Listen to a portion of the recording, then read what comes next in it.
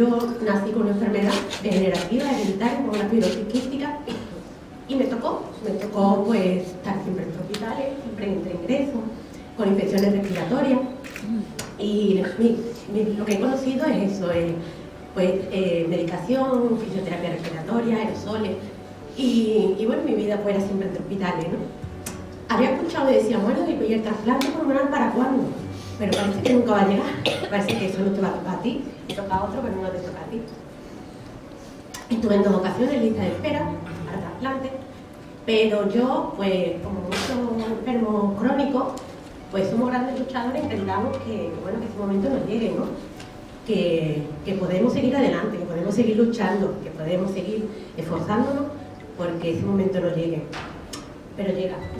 Me llegó, llegué a un momento terminal, mi vida pues ya no podía.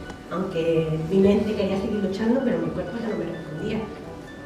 Yo pues ya estaba con el oxígeno, ya los intravenosos que me ponía incluso en casa ya no me hacían efecto porque ya mi bacteria era muy resistente y ya no había antibióticos que ponerme.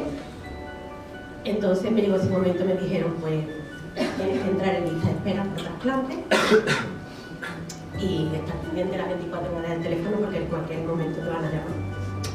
Mm, es un momento muy duro porque, bueno, porque la salud es que no tiene, no tiene calidad de vida ninguna.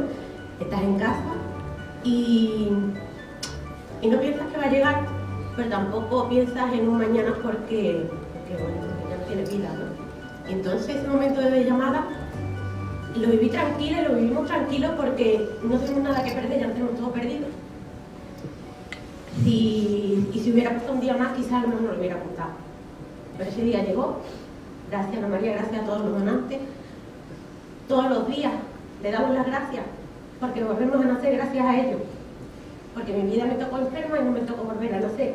Y, gracias a ellos, pues me volvieron a dar la vida. Me volvieron a dar la vida con una calidad de vida muy buena, una calidad de vida que no he conocido antes y, con unas ganas de seguir luchando, de seguir respirando gracias a esa persona que sigue en mí, que no se ha ido, porque está aquí dentro de mí, a través de sus pulmones y que todas las mañanas me levanto por él, luchando por esa persona que no está y dándole la oportunidad de que de, alguna forma pueda seguir viviendo gracias a través de mí. Entonces, mm, mi labor es esta, contarlo y sobre todo eso, para dar las gracias de que la, mm, la vida tiene sentido y bueno, eso esto es un círculo. Y no se va, no, mm, no sé, quiero transmitirte eso, esa tranquilidad y esa paz de que esa persona se, ha ido, pero no se ha ido, sino que sigue dando vida. Entonces te doy muchísimas gracias.